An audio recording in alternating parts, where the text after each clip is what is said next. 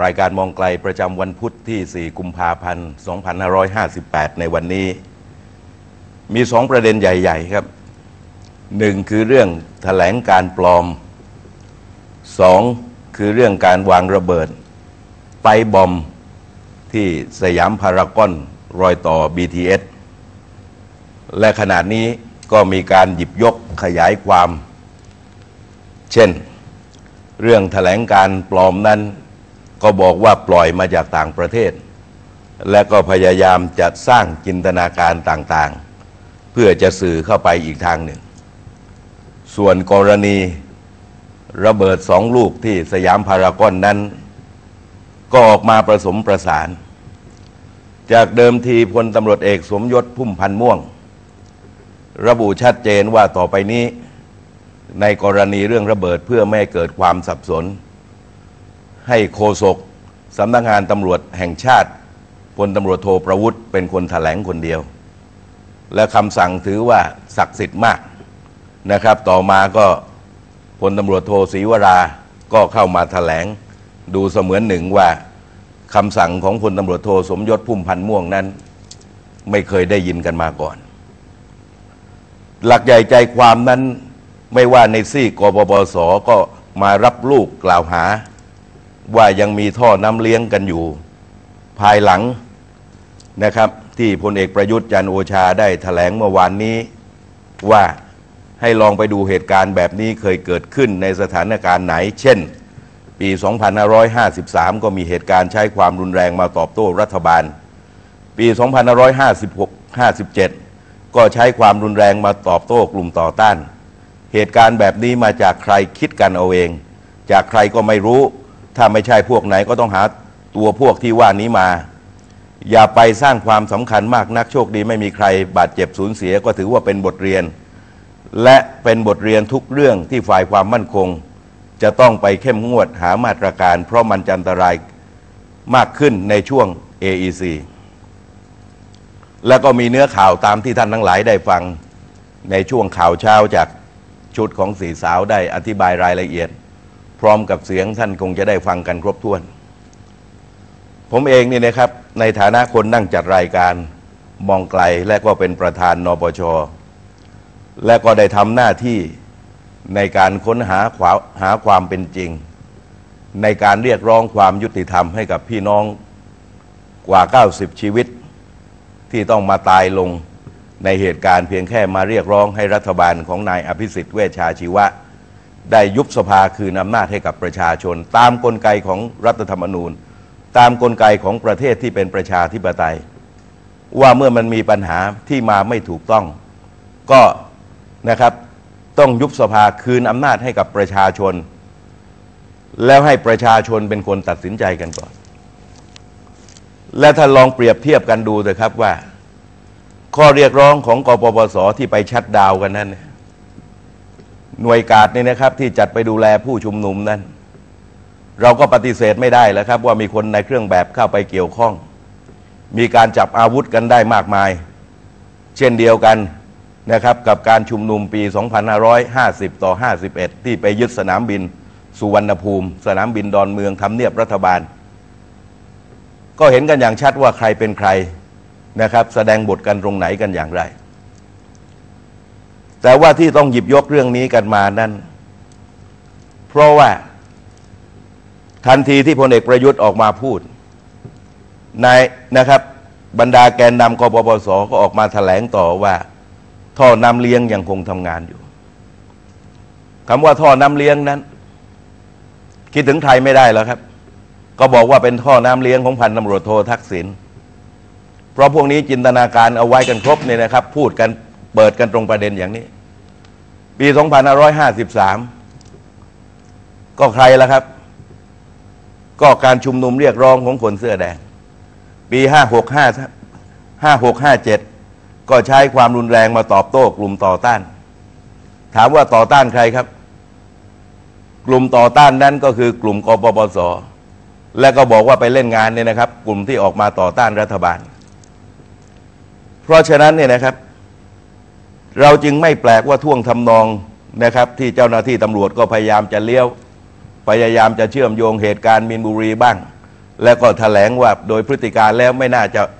คนที่ก่อเหตุนั้นไม่น่าจะเป็นทหาร อธิบายความกันสับเสร็จบางคนก็แถลงออกมาว่าใกล้เคียงกับเรื่องการเมือง มีคนที่สัมภาษณ์พอมีสติมากกว่าเพื่อน คือผู้บัญชาการทหารบก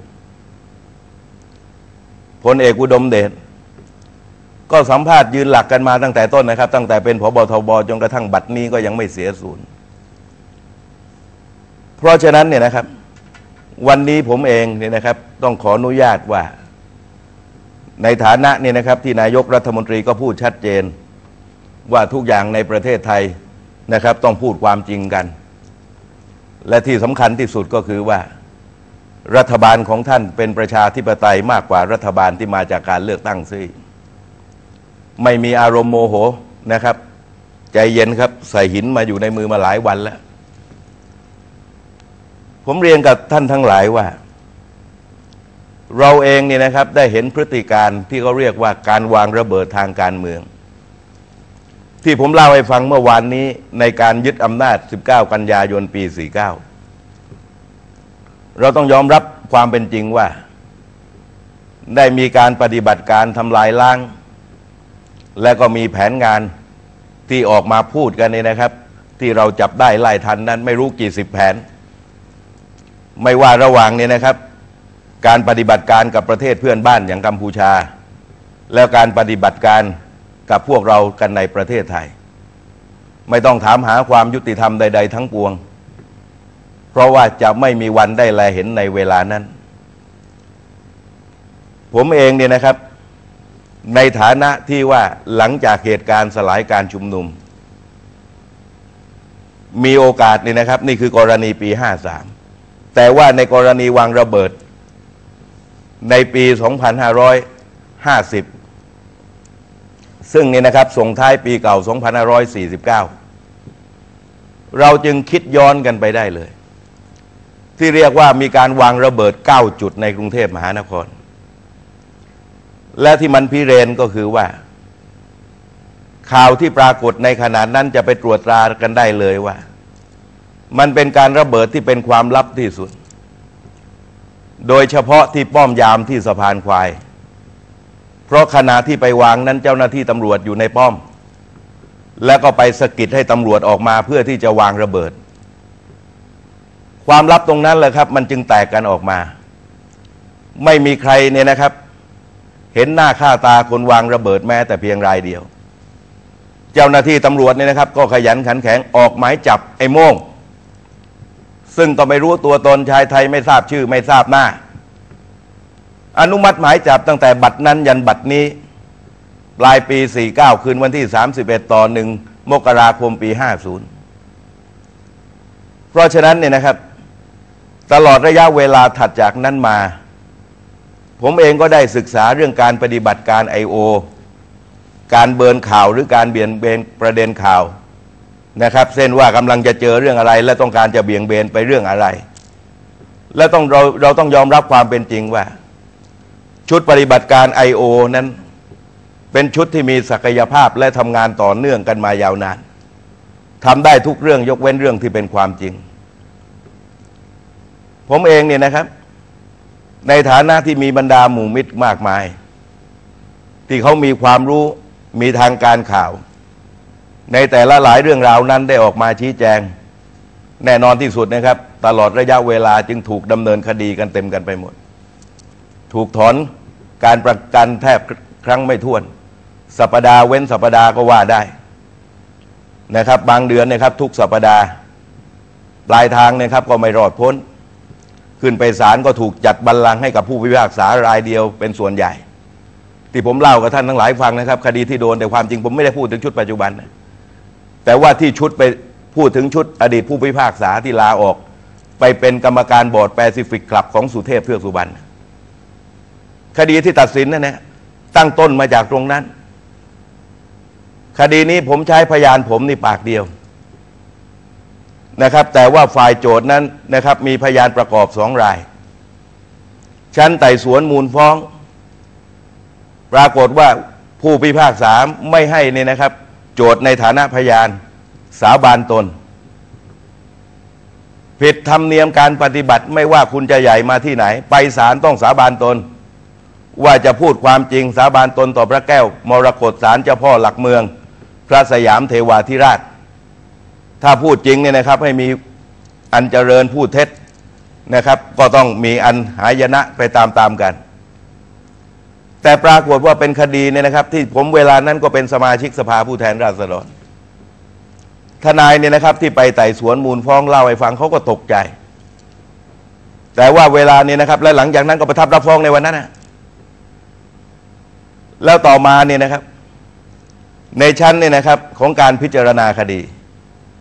ทนายความเนื่องจากว่ามีคดีหลายเรื่องนะครับ สภาพจิตใจก็ไม่ไหว ไม่รู้จะทำยังไงเครียดล้มป่วยไปนอนโรงพยาบาล ปรากฏว่าทนายให้น้ำเกลือมาว่าความไม่ได้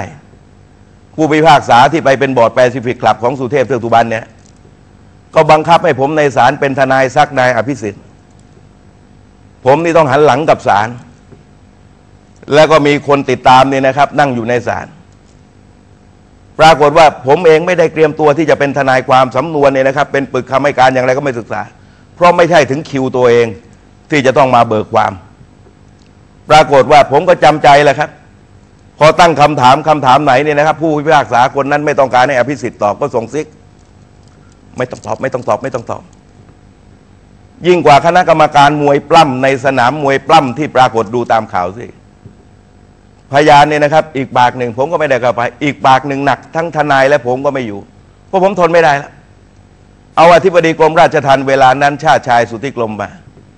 ผมก็บอกกับผู้พิพากษาว่าถ้าจะเล่นอย่างนี้ ผมไม่ได้เป็นทนายความ และการซักถามมันเป็นวิชาชีพ ยกเว้นว่าผมจะใช้สิทธิ์นี่นะครับ มาว่าความตัวเอง ผมก็ต้องเตรียมตัวมา แต่ถ้าต้องการมัดมือชกกันอย่างนี้ก็เอาไปพิจารณาโดยถ้าไม่มีทั้งโจทย์และจำเลย ผมนี่ไม่เข้าได้อยู่แล้ว เพราะว่าพิจารณาคดีรับหลัง แต่คดีต้องมีทนายความ ปรากฏว่ามันมีทนายความก็บอกคุณจตุพรไม่อยู่ก็ได้แต่อย่างนั้น แต่ต้องมาช่วยเซ็นชื่อหน่อย ให้องค์ประกอบตรงนั้นนั่นแหละครับ มีอยู่เท่านั้น อีกปากหนึ่งก็ไม่ได้เกี่ยวข้องกับคดีความ แล้วจนกระทั่งนี่นะครับ ผมเองต้องฟ้องผู้ปฏิผู้พิพากษารายนั้น หลังจากอีกกรณีคดีหนึ่งทนายความให้สารอาญาออกหมาย นะครับ เชิญเจ้าหน้าที่สำนักงานราชเลขาธิการ มาเป็นพยานให้กับฝ่ายจำเลย ผู้พิพากษารายนี้เนี่ยนะครับ ไปเปลี่ยนให้เป็นพยานกับผู้เป็นพยานกับฝ่ายโจทย์โชคดีว่าทนายความไปคุยกับตัวแทนจากสำนักราชมาก่อน ทันทีที่เขามาศาลเขาก็บอกว่าเขามาเป็นพยานให้กับโจทย์ เลยไปดูหนังสือโอละพ่อเลยเห็นไหมครับทั้งที่พยานโจทย์เนี่ยนะครับ ซักไปหมดแล้ว แต่ความหมายมันชัดเจนว่า การไปพลิกเนี่ยนะครับไม่ได้